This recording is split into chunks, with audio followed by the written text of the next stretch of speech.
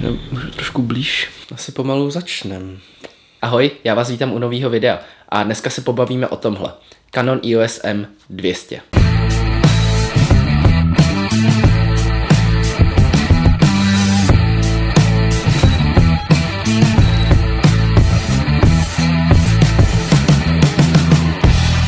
Canon mi na tohle video poskytl tady ten webcam kit spolu právě s tou M200 a já jsem měl teďka pár dní na to si ji vyzkoušet. Více ale o tom povíme na konci videa. Já jsem se asi tak měsíc zpátky právě bavil s Kubou a s Manínou o tom, že bych chtěl nějaký menší foťák na takovýto každodenní focení do města. No a rozebírali jsme právě M50, EOS RP a tady tu M200.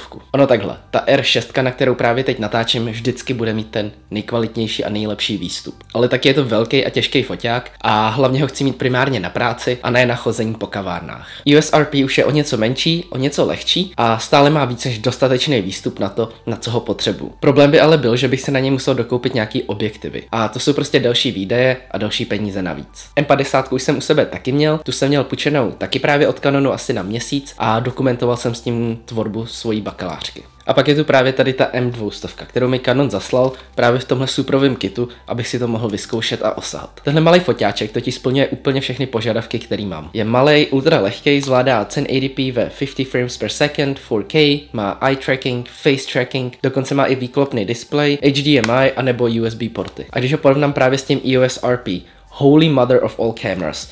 Tady to je úplně neskutečný prostě bang for the buck. No a celý tady ten kit, který mi Canon zaslal, což je M200, setový objektiv 1545, Gorilla Pod, což je tady ten vlogovací uh, stativ, který znáte třeba od Caseyho a spoustu dalších věcí jako datový propojovací kabel a tak podobně. To všechno vás vyjde plus minus na 15 tisíc. No a teď si asi říkáte, jestli to vůbec za něco stojí, když to celý vyjde jenom na 15. Co jsem pochopil, tak ta M200 je mířená na lidi, kterým už v úzovkách nestačí telefon a chtějí něco víc a chtějí foťák. No a tady ten foťák chtějí využívat primárně na takovou fotodokumentaci svého života, ať už to jsou dovolený nebo prostě každodenní život. Chtějí něco malého, lehkého, co strčí do kapsy a můžou vyrazit. Zároveň chtějí ale kvalitní výstup a jednoduché ovládání. No a vy víte, že na tomhle kanále recenzu věci trošku jinak než projížděním tabulek a čísel. No a tak jsem se včera prostě rozhodl, že ho vezmu na reální focení a nafotil jsem s ním zakázku. Já jsem den předtím už na to celý den vlogoval, jenom abych zjistil, jak ten foťák natáčí a jak pracuje s videem. No ale začneme fotkama. Ona tady ta M200 už sobě má totiž ten nový procesor Digic 8, který najdete třeba i v EOS R. A i když megapixely nic neznamenají, tak jenom pro porovnání. Tady ten malinký foťáček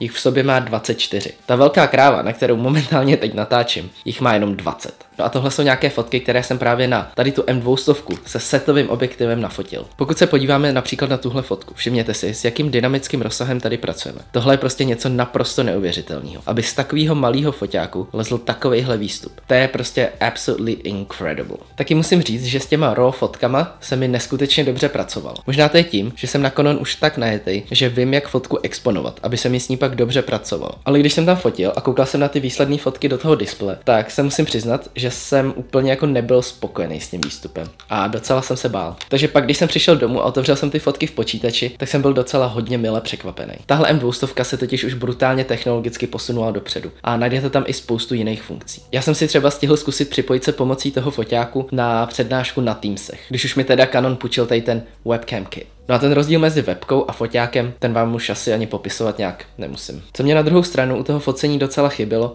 byl hledáček. Já totiž docela rád využívám proti světla. No a když fotíte takovouhle akci, tak chcete mít jistotu, že ten foťák ostří tam, kam má, že máte dobrou kompozici a že zároveň stíháte zaznamenávat všechny ty klíčové momenty. No a do protisvětla se bez hledáčku prostě fotí fakt blbě. Co mi na tomhle foťáku taky chybí je audio jack. Já už jsem zmiňoval, že to má HDMI, USB mini a tady to má vlastně slot na SD kartu zvlášť takhle a ze spoda klasické baterka. Ono na rovinu. Nějakým 90-95% lidem tady na tom foťáku ten audio jack chybět rozhodně nebude. On ten built-in mikrofon je totiž naprosto skvělý a můžete se o tom přesvědčit vlastně ve vlogu, který jsem natočil, ale to ještě nevím, kdy vyjde. Já se totiž dostanu občas do situací, kdy natáčím dost specifický obsah. No a třeba tady ten záběr z pražírny Candy Cane tak tam by ten zvuk z toho mikrofonu docela hodil. No a když už jsme u toho videa, tak musím říct, že mě tady ten foťák mile překvapil tím, že vlastně zvládá jak ty základnější funkce jako Full HD v 24, 30, 50 až 60 snímcích za sekundu, což už asi není zase tak základní, ale stejně tak to zvládá vlastně 120 frames per second a má to i 4K. Co se týče ovládacích prvků, tak si můžete všimnout, že ten foťák má fakt málo tlačítek na sobě. A já jsem se toho upřímně trošku bál, když jsem to rozbalil. Bál jsem se, že mi budou chybět fyzický ovládací prvky, jako tady ty točítka a různý jiný tlačítka. Ale pak, když jsem s ním včera fotil, tak jsem zjistil, že to ovládání přes ten displej je fakt docela intuitivní. Poslední věc, kterou musím zmínit, je, že mi na takovémhle foťáčku docela chybí nabíjení přes USB.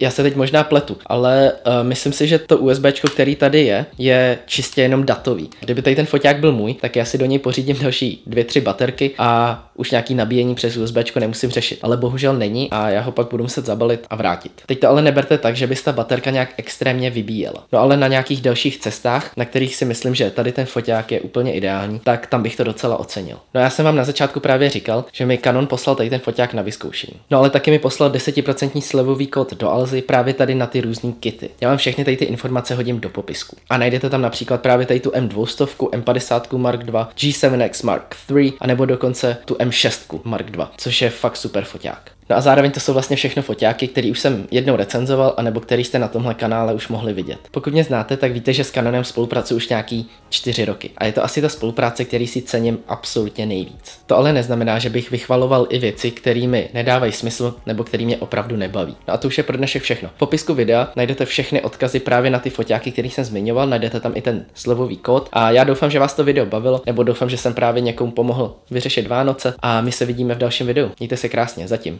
Čau.